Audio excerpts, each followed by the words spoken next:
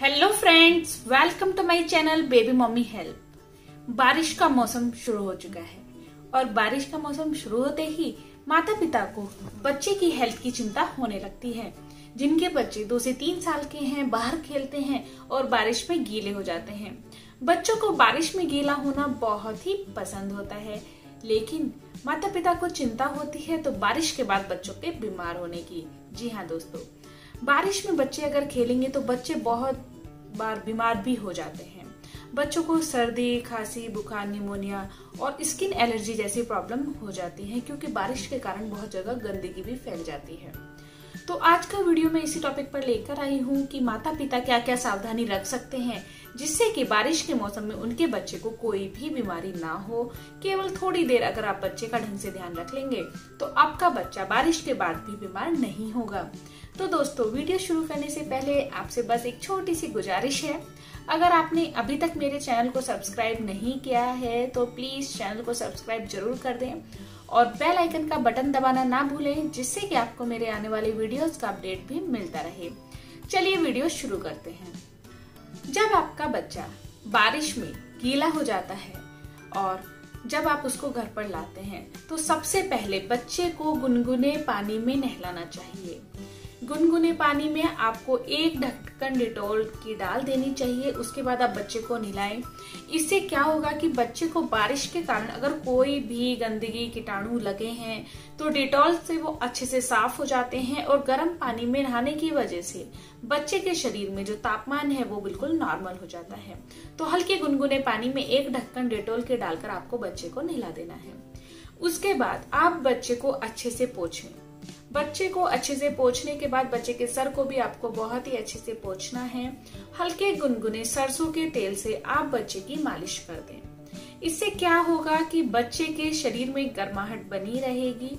बच्चे बहुत ही नाजुक होते हैं और बारिश में भीग जाने के कारण उनको सर्दी खांसी की समस्या बहुत ही जल्दी हो जाती है। तो आप बच्चे की हल्के गुनगुने तेल से मालिश कर दें, इससे आपका बच्चा बिल्कुल ठीक रहेगा।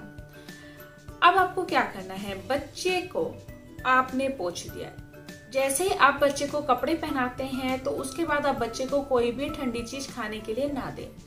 दही, छाछ, मट्ठा, आइसक्रीम, कच्चा अंडा, ऐसी कोई भी चीज़ बच्चे को कम से कम एक से दो घंटे आप ना दें, जिससे कि बच्चे को कोई भी इन्फेक्शन होने का खतरा ना हो। तो बच्चे को आपको ये सब चीज़ें नहीं देनी है। बारिश में भीगने के बाद आप बच्चे को डायरेक्ट एसी कूलर में ना रखें, बच्चे को सीधी हवा में ना रखें थोड़ी देर। इससे क्या होगा कि बच्चे के जो शरीर का तापमान है, वो थोड़ा नॉर्मल है, ठंडा है, और जैसे वो एसी कूलर के संपर्क में आते हैं तो वो और भी ठंडा हो जाता है और बच्चे को सर्दी खांसी की समस्या हो जाती है।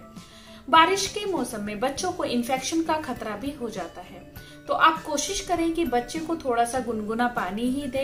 हो सके तो आप एक या दो लौंग या फिर तुलसी को पानी में पका लीजिए और वो पानी बच्चे को पीने को दीजिए।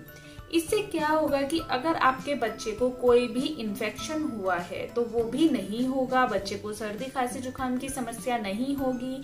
बच्चे को फीवर जैसी भी कोई समस्या नहीं होगी। ये थोड़े से प्रिकॉशंस होते हैं। अगर आप पहले से ही इनको ले लेते हैं, कर लेते हैं तो आपका बच्चा बीमार नहीं पड़ता बच्चे के सॉक्स कपड़े, सब चीज़ों को अच्छे से डेटॉल डाल, डालकर धोइए बाहर आप सभी लोग जानते हैं कि अगर बारिश पड़ती है तो बाहर क्या गंद, घर में भी बहुत ही गंदगी फैल जाती है। मच्छर, मक्खी, ये सब होना बहुत ही खतरनाक होता है। तो बच्चों को बाहर भेजते समय भी हमेशा आप रोल ऑन लगाकर भेजें कपड़ों पर, जिससे कि कम से कम बच्चों को मच्छर ना काटें। क्योंकि बारिश के मौसम में जहरीले मच्छर भी बहुत ज़्यादा फैल जाते हैं, जो बच्चे के लिए बहुत ही नुकसानदायक होते हैं। तो दोस्तों, अगर बच्चा आपका बारिश में भीग गया है तो अगर आप ये थोड़े से तीन चार स्टेप कर लेंगे तो आपका बच्चे को कभी भी सर्दी, खांसी और बुखार जैसी समस्या नहीं होगी। अगर आप बच्चे को थोड़ा सा तुलसी, लौंग का पानी दे देंगे तो आपका बच्चे को आने वाले समय भी खांसी, जुकाम की समस्या नहीं होगी। बच्चे की इम्यूनिटी बहुत ही बेहतर हो जाएगी और बच्चा आपका बहुत ही अच्छा रहेगा हमेशा। और आपको बार बार डॉक्टर के चक्कर भी नहीं काटने होंगे। घर की साफ़ सफ़ाई की बहुत ही अधिक ध्यान रखिए, घर को साफ़ रखिए, कपड़ों को साफ़ रखिए। कभी भी बच्चे के कपड़ों को गंदा ना पहनाए, हमेशा बच्चे को दिन में दो से तीन बार साफ़ कपड़े ही पहनाए। हाथ बच्चे के समय समय पर धुलवाते रहें, जिससे कि बच्चा कोई भी गंदगी बच्चे के पेट में ना जा पाए। और हो सके तो बच्चे को तुलसी का लौंग का पानी देते रहें। तो दोस्तों, आज का वीडियो बहुत ही छोटा सा, बस मेरा इसी टॉपिक पर था, जिससे कि आपको आने वाले बरसात के मौसम की जानकारी अच्छे से मिल पाए कि बच्चे का ख्याल आपको कैसे रखना है। अगर वीडियो पसंद आया हो तो please subscribe to my channel और बेल आइकन का बटन दबाना भी ना भूलें, जिससे कि आपको मेरे आने वाले वीडियोस का अपडेट भी मिलता रहे। Thank you for watching baby mummy help thank you नमस्कार।